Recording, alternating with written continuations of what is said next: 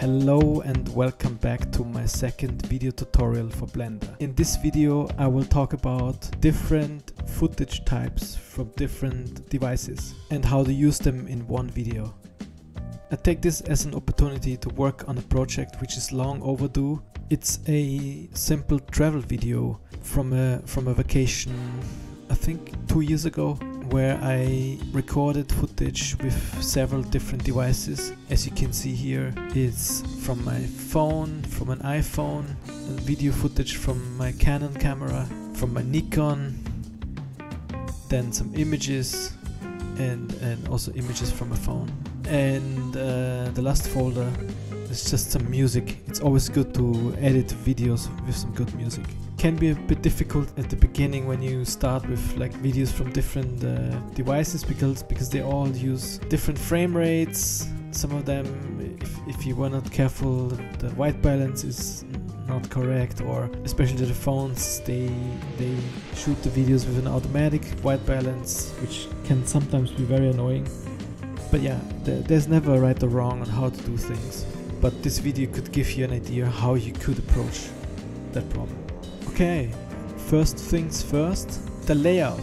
You're wondering how you get there. Normally when you start Blender it looks like this.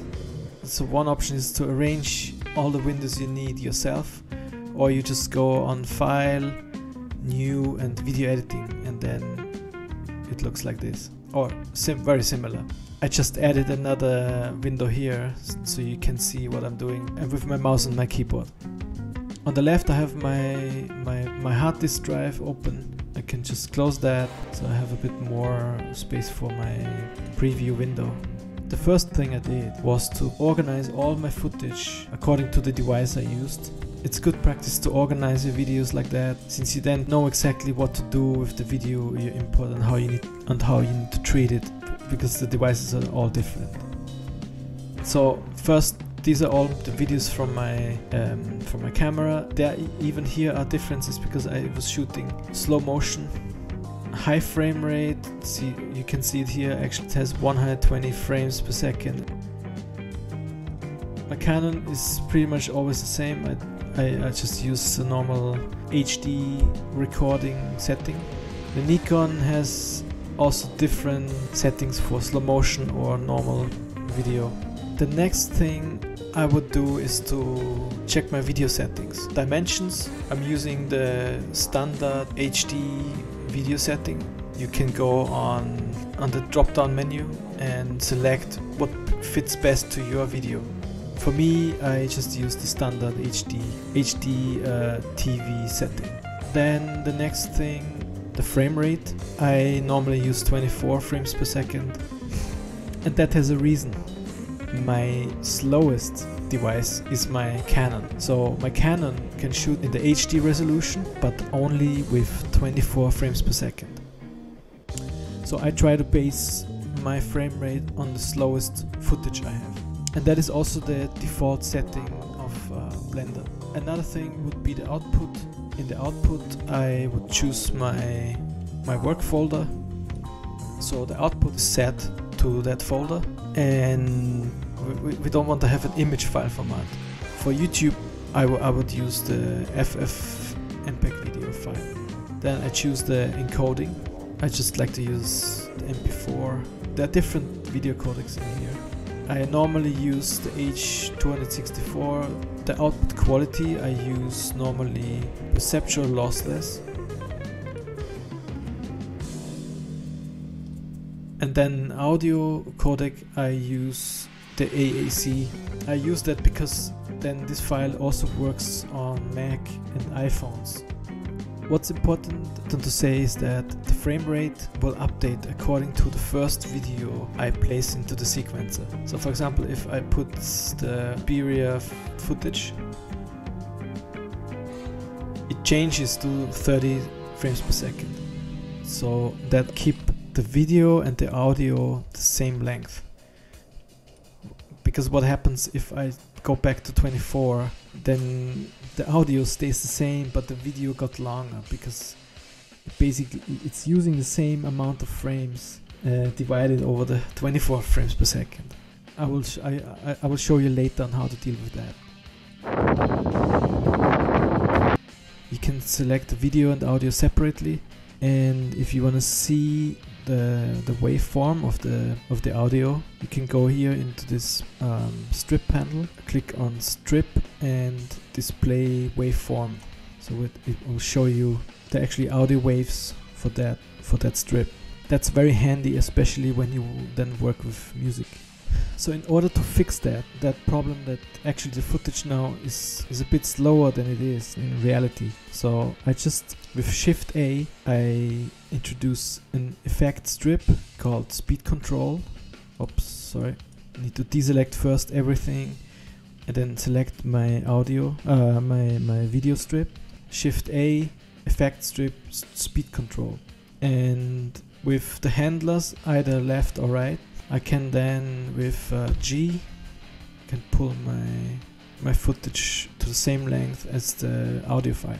You can always see the length of, of any footage uh, in here. Time, the duration uh, is 585 and I can compare that so to see if I pulled it to the right to the right frame I can check that and it's also 585 so if I play that now, then it should be correct speed.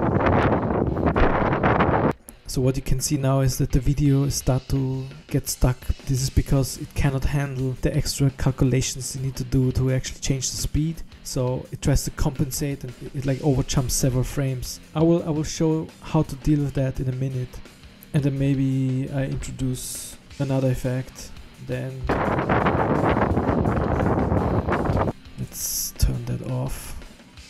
you can always mute anything in here in the panel on the right side. If you don't want to hear the sound for the moment just go here on that small checkbox mute.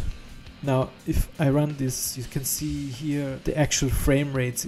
Which is only 2 frames per second so it jumps a lot. So how to deal with that? This is one thing a lot of people give up right away because they cannot fix it and they don't know how to fix it.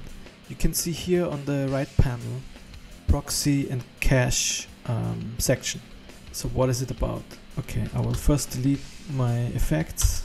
The proxy will create a copy of your footage, the footage you're using, in a lower resolution and will save it on your drive and will use it as a temporary footage. You need to check strip and proxy and timecode and in here you can decide basically the the percentage of resolution from your original file. So I use 25 because it's, it's just the fastest. And then you can also select the quality you can even lower the quality. It really depends on on how your how strong your computer is. And what what I found find really amazing is that with these settings you, you can really use the crappiest computer and you still have a have, have a smooth video preview.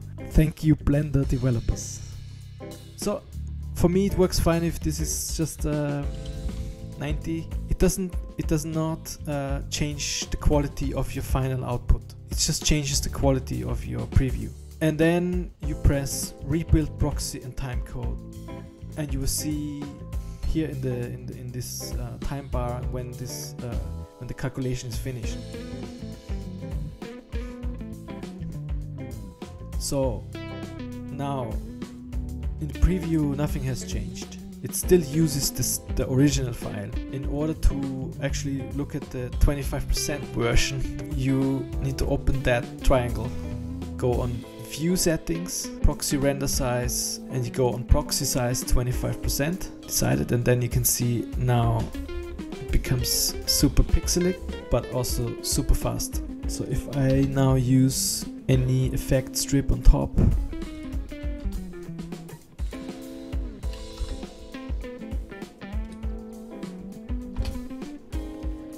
it will just still run very smooth. If you want to check the the colors and if it's sharp enough the video you can always go here and say no proxy full render. Then it will just jump back to the to the original file. But for now I use the 25% so normally what I do is I just load all the video all the footage I want to um, use in the video and then apply the, the proxy settings on it and then I start cutting. Uh, if you want to see where where the proxy file is stored because you don't want to keep it later on. If you go here now on video Xperia then you can see here it created this folder blender proxy and then it says the basically the, the, the 25% version of that video. So the next thing I would do, let's delete this first. The next thing I would see which, if, if I want to have like my footage come in, a, in the right order, if you go here into your folder preview, you can uh, switch between different uh, display modes so you can have vertical list, you can have a horizontal list, you can have thumbnails which then helps to decide which footage you actually want to use. You can also see the size, it gives you an indication of how long that video might be. But yeah, here for example, this were all recorded on the 12th of October. So maybe let's see on the other, the 6th of October, 6th, okay. 2 o'clock in the morning. It's basically when we left the house, I think. Yeah, you can even change the size. Regular, large.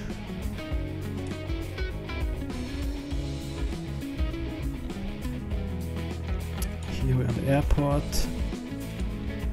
Getting our stuff and then we're already on the beach. So I will not show you how I do the whole video because I think it's super boring, but I will just show you um, how I would start with it. And then in the next tutorial, I'll go through some of the other aspects. So the next thing I would do is to check my music. Um, I like to cut to music because it just feels much more natural. I have here a song which I recorded myself just extend my time to that, my video to that. Um, yeah, that works fine. Now I want to see the waveform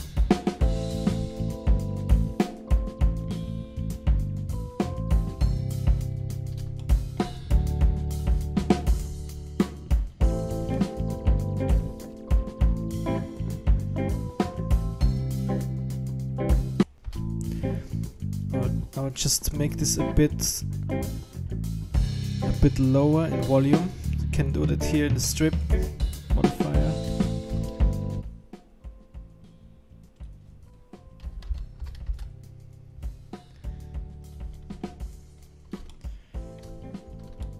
And then normally what I do is to mark like the main sections of, of, of, of the song.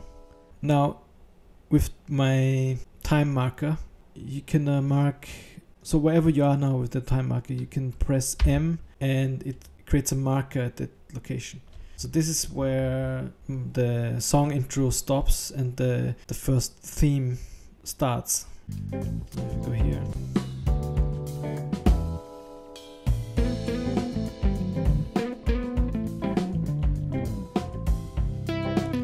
And then I will just very quickly find the other important bits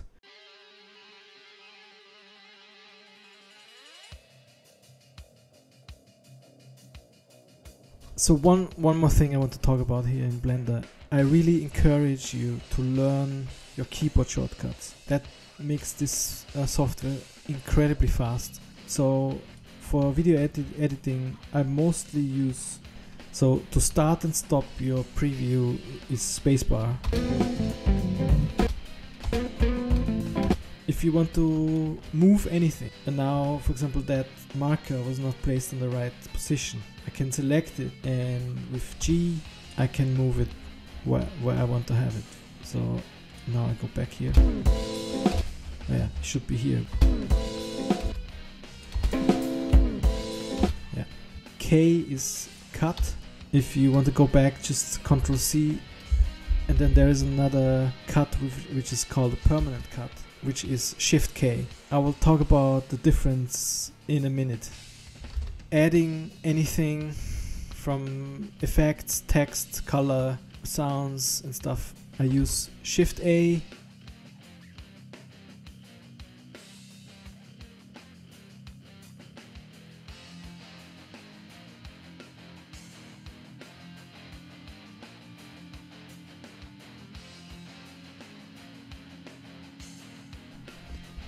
So with your keyboard arrows, you can also your marker frame by frame. You can move frame by frame.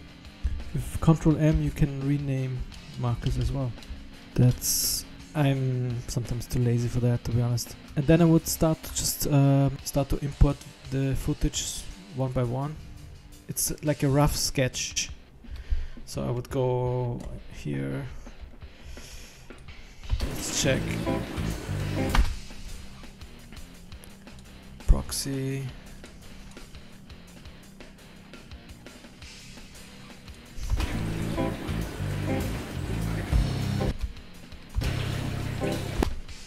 It's not very interesting. Maybe I will not use that.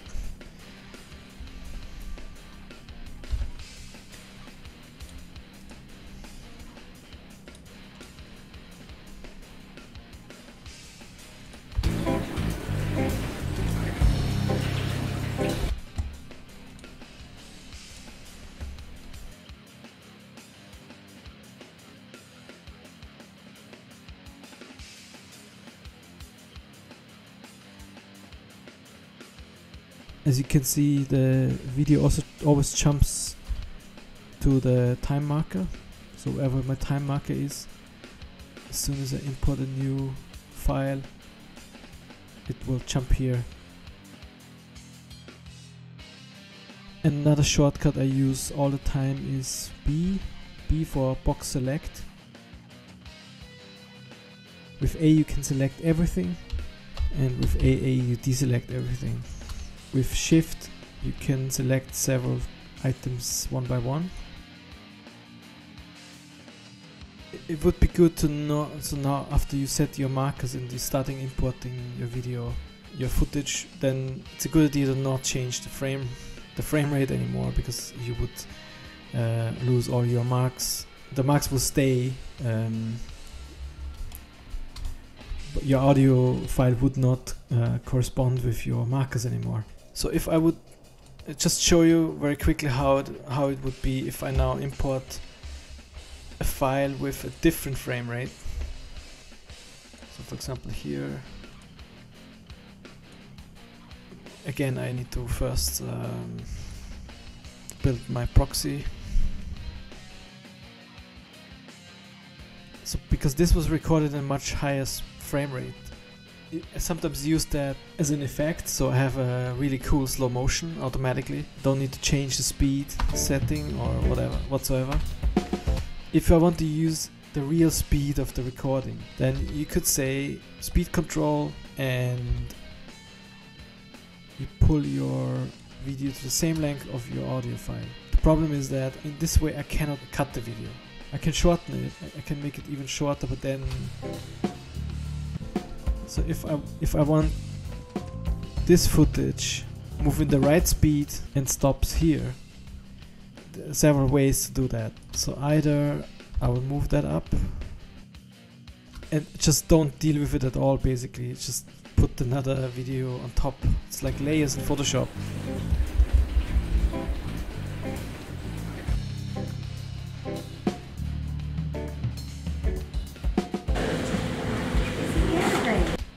So what are my other options? My other option would just to mute the video at that spot. That's another option. So I would take my video, say strip on insert keyframe, unmute my video at this position.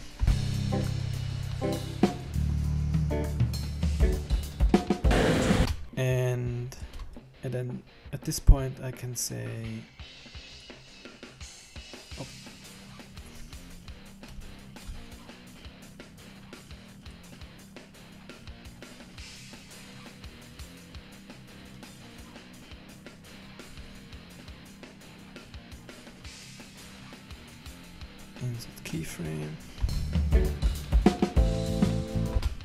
In that case I need to do it twice because the speed control is overlaying on top of my video so I need to do this here.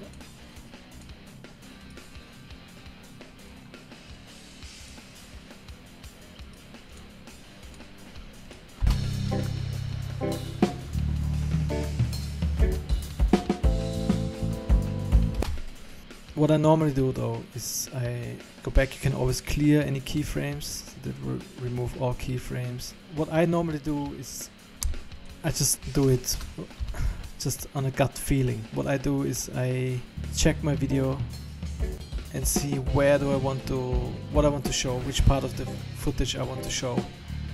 And let's say until here. And because I want to use it later on, there's another shortcut. Uh, with Shift D you can duplicate anything, so put that here. And this one, I, I will now cut with Shift K, which is a permanent cut.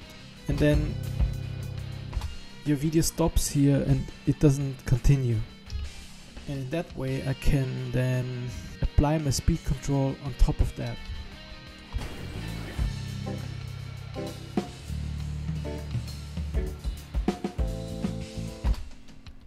And that's basically on how I would like go through all of my footage I want to use in the video and trim it and arrange it according to the music.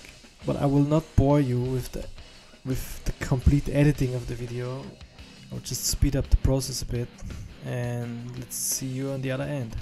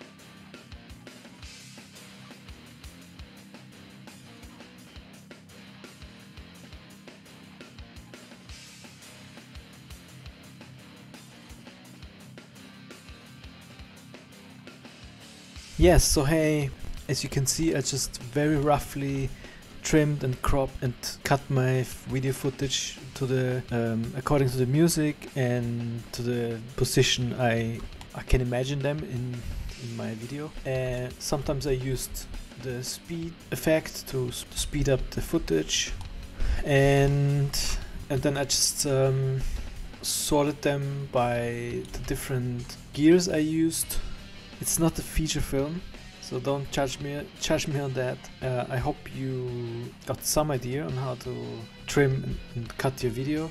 Of course, there are many more aspects to that, but this video is more about the technical aspect of it. In the next video, I will refine that rough sketch and then add white balance correction if if it needs uh, color correction maybe changing brightness and contrast maybe also doing some, some color grading.